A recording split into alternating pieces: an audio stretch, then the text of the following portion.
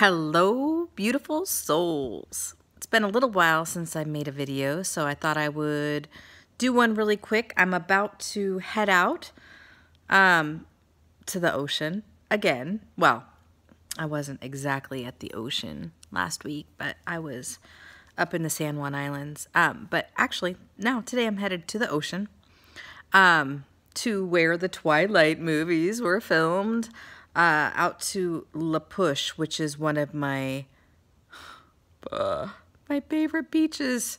Um, it's so magical there. But anyway, that's not why I came on. that's what I'm doing. Um, just getting ready to scoot out of here in a little bit, but I just had several things happen over the last couple of days with people. And what's interesting, you know, we have this Lionsgate energy that is active. Uh, it's not the height of the portal yet, but it's um, it's super change energy that's active, uh, providing clarity. Sometimes repress, like for me, repressed memory, boop, pop back in again.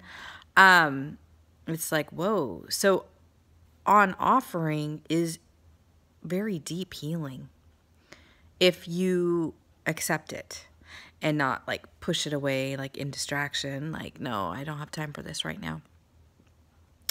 But what what's really been eye-opening and maybe it's just my st current state of consciousness it's hard to tell is how many narratives people buy into. And I understand because I used to be, uh, before I truly started to uncover and discover my own gifting, I used to go see a lot of people for readings.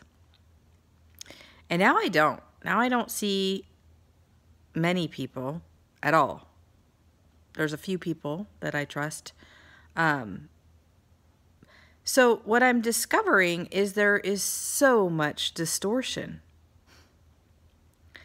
Um, and you know, it's one of these things where who you have reading you is super important. What, what you know, the clarity of their own channel. And like I was telling my my son and his friends the other day, it also has to do with how many different filters they are seeing through. And when when I say filters, that's like, you know, all of your different experiences um, that are unhealed and sometimes healed um, create a different filter. So if you want to think of it like, you know, those super thin glasses that you used to put over glasses, like each one of those is like adding another layer of distortion. Um, and so I, I just have been surprised with the amount of people that are attached to a certain narrative about who they are. And it's interesting because the more the more work, the, the more inner work I do, the more healing work I do, I realize that that narrative is not important. I mean, I used to say, yeah, I had a lifetime as an Arcturian. Yeah, I had a lifetime as this. Yeah, I was I was this. I done this. Blah blah blah. And now I'm at this point where, yeah, I am multidimensional. I am all of those things. But right now, right here, I'm human. And so that is what I'm focusing on for right now. That is what I'm here to do. And that's what I wanted to say. You know, just because somebody knows or was told that they are Pleiadian or Arcturian or um, from the Vega, whatever. I'm just throwing stuff out. But no matter what, or that they've had a life as Cleopatra, or, you know, all of this stuff. that knowing doesn't necessarily help anyone in this physical reality right now, in the humanness.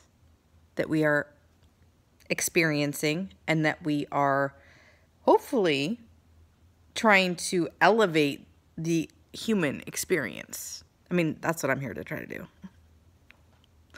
Um, so anyway, I just, you know, want to put that out there. Try not to attach to any labels. Try not to attach to any narrative beyond the idea that you are human right now for this moment for a short.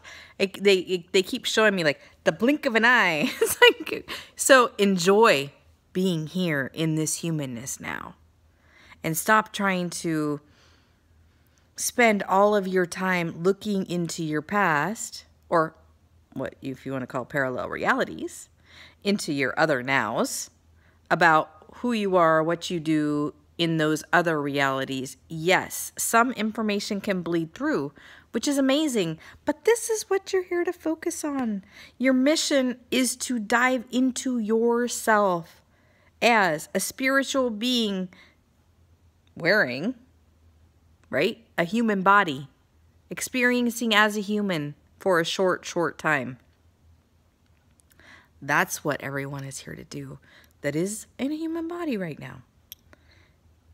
It's not all of these other external missions. And yes, there are some of us that are anchors, there are some of us that do grid work, there are some of us that have these other jobs, but primary primary is to master your 3D reality, not what you were in another lifetime, not what is an alternative, whatever. It is right now, right here. Your family relationships, right? How you decide to live and making that into alignment. Um, job, what do you want to do to make money in order to live?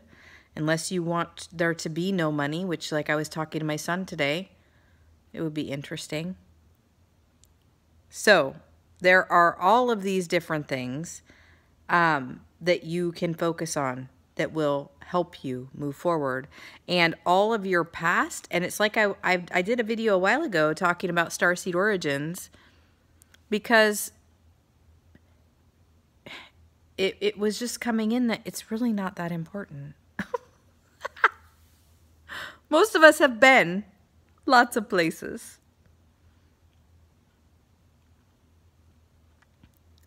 Right? Especially the older souls. We've been, you know, we've been around the block a time or two. And where we've been, none of that really matters except for where we are right now. What are we creating right now? Stop focusing on anything else. Stop distracting yourself with external stuff. Like these twin flame missions, or I, I don't even know. I mean, I'm just like, whoa. Anything to keep you from doing your own inner work, I guess. I mean, that's okay. I used to I used to think that too. I used to think I had a mission, I had a twin, da da da da da, and then in the breaking open of myself, I realized no. That was all a distraction.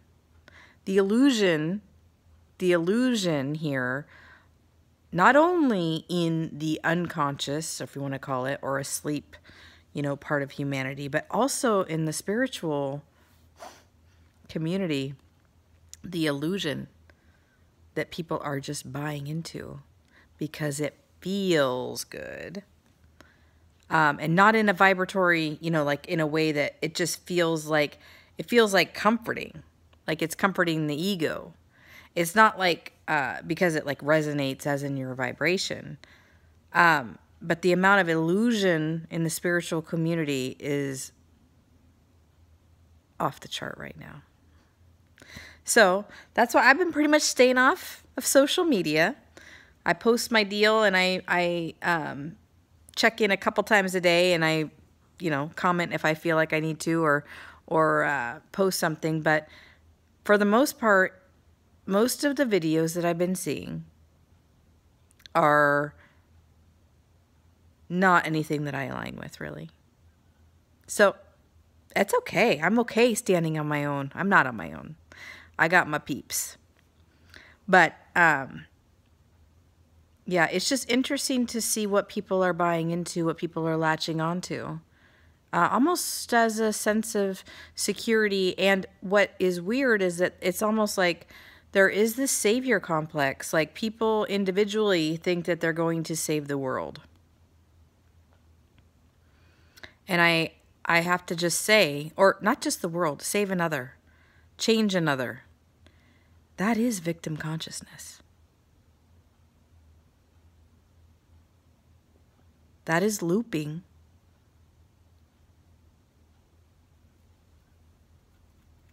That is looping in the old paradigm, actually, and it's sneaky.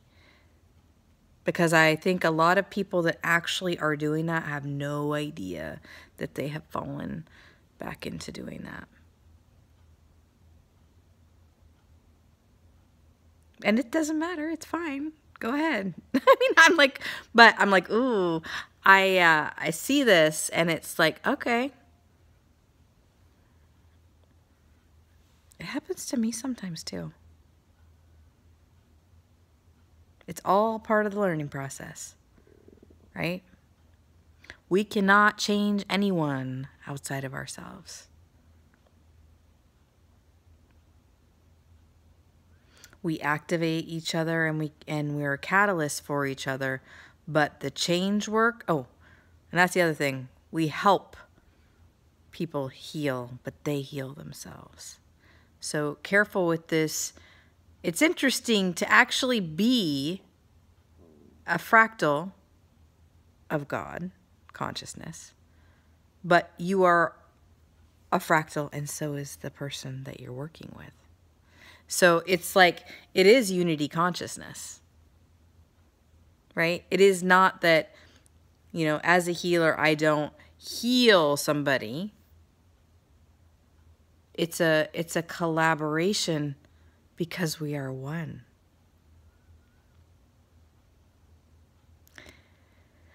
And, you know, people learn how to be a conduit for that energy, and that's really what that's really what a healer does anyway. Anyway, there's that. Wanted to share that. Watch out what narrative you're paying attention to. That you're giving your energy to. That you're buying into. Yeah, this is intense times with the Lionsgate, and lots of things are coming up. Like I said, I had a repressed memory come up. I had remembered it before, but it's funny how those uh, sneaky little memories come in and then they go out. Mm. Yay. anyway, uh, I hope you guys have a great rest of the day. And um, like I said, I'm headed out to the ocean. I'm hoping to do some videos from out there. We will see. Love you guys. Bye.